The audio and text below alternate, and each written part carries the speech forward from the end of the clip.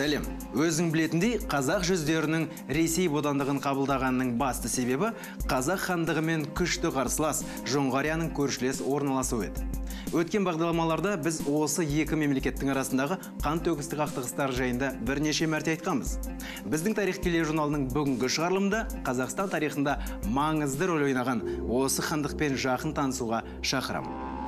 Балқаш көлі мен тянь тауының арасында ертістің жоғарғы жағында мекендеген ойраттар белгілі бір уақытқа дейін қазақ билеушілеріне үлкен қиындық тудырмаған бөлек бөлек тайпалар болатын. Бірақ барлығы да 17 ғасырдың 30 жылдары өзгерді. Сол кезде жоңғарияда билік басына далай ламадан эрдени батыр қонтайшы деген атақ алған хото хочин келеді. Орыс архимандриті және шығыстанушысы никита бичуриннің айтуынша батор қонтайшы үшін ресейге бірінші петр секілді. Жоңғарияның аймағына тоқтаусыз бас сұға беретін агрессиялы көрші цин империясының болуы эрдени батырға мемлекетінде қатаң әскери заң орнатып орталықтандырылған күшті билік орнатуына итермеледі. Әскери міндетті ер азаматтардың барлығы атқарды. Осы реформаларды жүргізу арқылы эрдени батыр моңғолияның солтүстік батысындағы көшпелілерді бағындырып шығыс түркістанның бір бөлігін басып алды. Шежірешілердің мәліметінше князь хо урлюк басқарған 60 мыңға жуық торғыт отбасы жаңа тәртіпке көнбей отырықшы жерлерін тастап қалмақ этносының негізін құрап еділдің төменгі жағына көшіп кетеді. Ал ойрат билеушілері моңғолдардың ортақ съезін өткізіп онда ұлы дала жинағы атты заң қабылдайды. Ал бірыңғай дін буддизм болып жарияланды. Сол кезден бастап жоңғарияның өркендеу жолы басталады. Мемлекетте қолөнер мен сауда белсенді дамыды.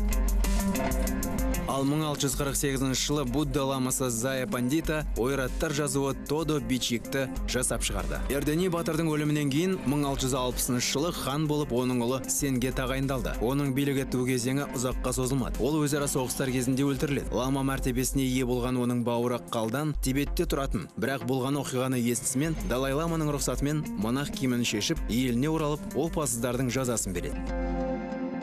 Дәл осы қалдан ханның билік еткен жылдары жоңғария өз тарихындағы ең құдіретті кезеңіне жеткен деп есептеледі. Көкнор мен ордосқа жасаған жорық сәтті аяқталды. Турфан мен шығыс түркістанның аймақтары жауланып алынды. Сіңірген еңбегі үшін 1679 жылы қалданның ұстазы және қорғаушысы далай лама оған бошокту яғни бата алған деген атақ береді. Манчжурия әскерімен өткен бірнеше шайқастан соң қалдан хан өліп оның орнына таққа немере інісі цеван рабдан отырады. Ол цин империясының вассалды тәуелділігін қабылдаудан бас тартып оларға қарсы соғыс ашады. Сөйтіп өзінен асып түсетін қарсыласты арасында жеңіп те тұрады. Мұндай жағдай қалдан сереннің кезінде де сақталған. Ол бірнеше жылдық соғыстан кейін цин императоры хан сеймен бейбіт келісімге келген еді. Бұл жақтан бейбіт келісімге келіп жоңғар әскері қазақ хандығының территориясына бас сұғады. Дәл осы жорық тарихта ақтабан шұбырынды деген атау алған болатын. Қазақтар үшін оның салдары қиынға соқты. Миллионға жуық адам өлтіріліп жердің көп бөлігін ойраттар басып алды. 1726 жылғы бұлантыдағы жеңістен бұдан үш жыл кейінгі аңырақайдағы шайқаста жеңіске жеткен қазақ әскері шапқыншыларды өз жерінен шығара бастайды. Бұл қақтығыс бірнеше жылға созылып жоңғарлар қазақ билеушілерін бірнеше мәрте жеңген болатын. Бірақ жоңғарияның күші таусыла бастайды. Бұдан басқа оларға тағы бір қиындықтар кезігеді. Цинь әскері ойраттарға қарсы әскери жорыққа шығады. Ал хандықтың өзінде қалдан серен өлген соң 1746 жылы билікке талас басталады. Бұл князь амурсана басқарған жоңғарлардың бір бөлігі манчжурлар жағына өтуге алып келеді. Оның көмегімен император цаньлунның әскері жоңғарияға басып кіріп ойраттар ханы давацида тұтқынға алады. Қытайлықтардың уәде еткен жоңғария тағын алмаған амурсана 1755 жылы өзінің одақтастарына қарсы шығады. Өз жақта одақтастарының қолдауымен хан атағын алған ол манчжурларға қарсы соғыс ашады. Бірақ бұл соғыс ұзаққа созылмайды. Жоңғарияға бастан аяқ жақсы қаруланған саны жағынан да асып түсетін цинь әскері басып кіреді. Манчжурлар ойраттарды толығымен қырып салады. Осы соғыс басталғаннан соң бір жылдан кейін 600 мыңдық тұрғынынан 40 мың ғана аман қалып олар ресей жеріне қашуларына мәжбүр болды.